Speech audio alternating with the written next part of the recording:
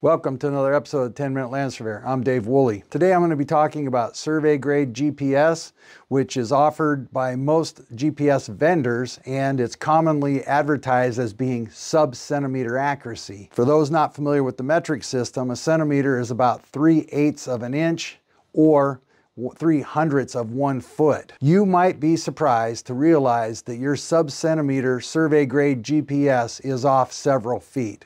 Now, stop and think about that. In, on any given project, what would it mean if whatever you offered a value on, a, a location on, was off one foot, two feet, 13 feet? What would that mean to you and what would that mean to your client? I'm going to explain this to you today. One of the most common errors is a misunderstanding of the difference between survey feet and international feet, or U.S. survey feet and international feet. If you were to Google it and you look it up, it's going to say that the difference is relatively small. And it's going to tell you that the approximate difference is two parts per million, which means you'd be off about two feet in a million feet. That becomes an important number later as I'll show you. Or it also is equal to an eighth of an inch or a hundredth of a foot in a mile. So common sense would say, well, an eighth of an inch or a hundredth of a foot in a mile is not really a concern to me or my project. And I would say that's an error. When I say that's an error, I've been involved in several lawsuits in which this has come up. Why? Let me show you. What you see here on the screen is a zone 6 coordinate. This is right in the middle of Orange County. I've rounded the northings and eastings to the nearest foot and the elevation. So what you see here is a, a northing, easting, elevation.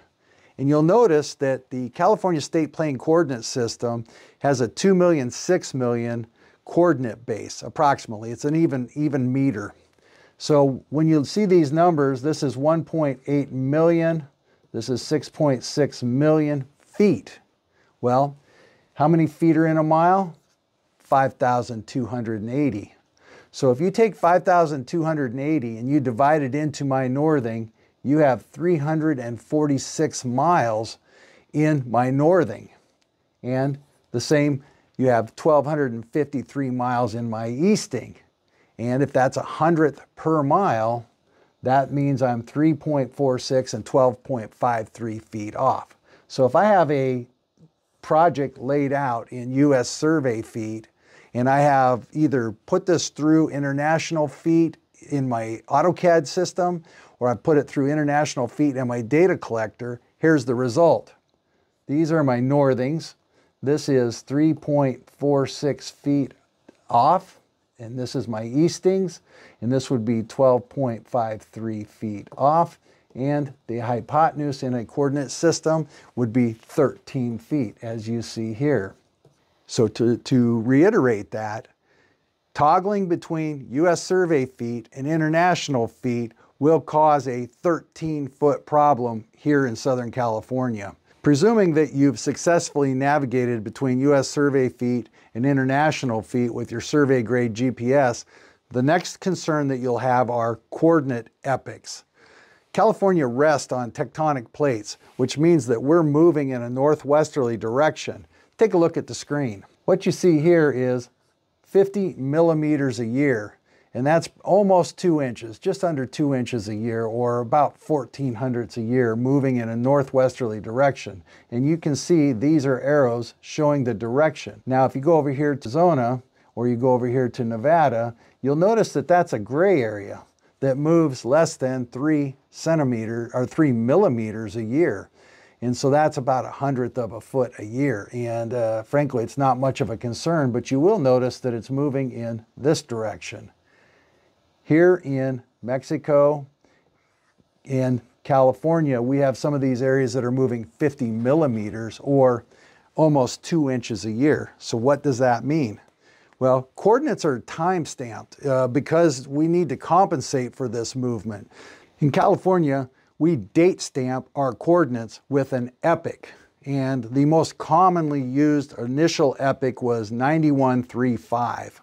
And so that's a 1991 epoch, which we captured a coordinate, and that was the coordinate basis for all the work done at the time. And most GIS systems were set up on the 9135. And Caltrans currently still uses the 9135 in some of the work that I'm on.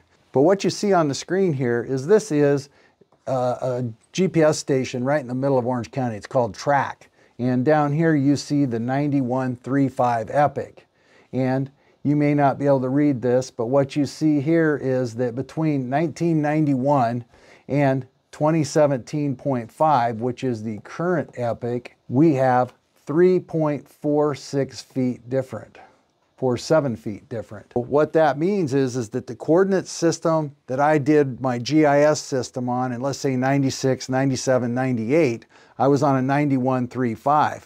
Now I go out and I'm measuring positions, locations of whatever it may be, stop signs, monuments, uh, inventorying something with my GPS system in a 2017.5, that means that every coordinate that I bring into that GIS system is off 3.47 feet.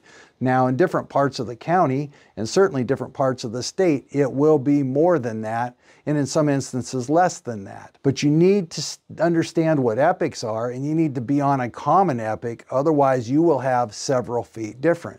Now think about this, 2017.5, that's eight years ago now, almost eight years ago, and so that means that we're gonna have almost uh, a little more than a foot on top of the 2017.5. So if you went out and created a brand new GIS system in 2017.5 Epoch, we have more than a foot difference between the 2017, the most current Epoch, today. When you go buy your sub-centimeter survey grade GPS, oftentimes you're getting what's called a real-time coordinate. And that means that's a coordinate you're getting today. So that means that you're over a foot difference today than you are in the published EPOCH.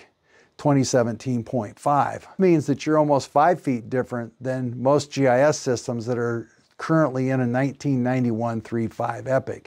The California Public Resource Code says that GPS work must be on a published EPOCH. And the reason is, is they understand that there's a difference. And if you cannot mix and match epochs without moving several feet, being that this is a 10 minute land surveyor video, there's a lot to be discussed. I'm going to be doing an additional video on epochs in the California Public Resource Code.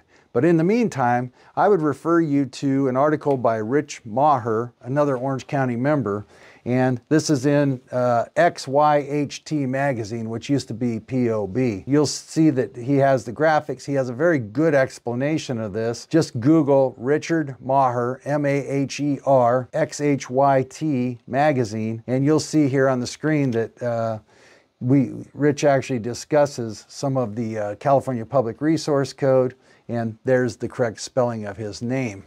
If you've purchased your sub-centimeter survey grade GPS, you should not be surprised when the locations that you produce with that GPS are off several feet from the GIS system that they're going into. If you jump datums to the 2022 datum, you're gonna be off about 13 feet.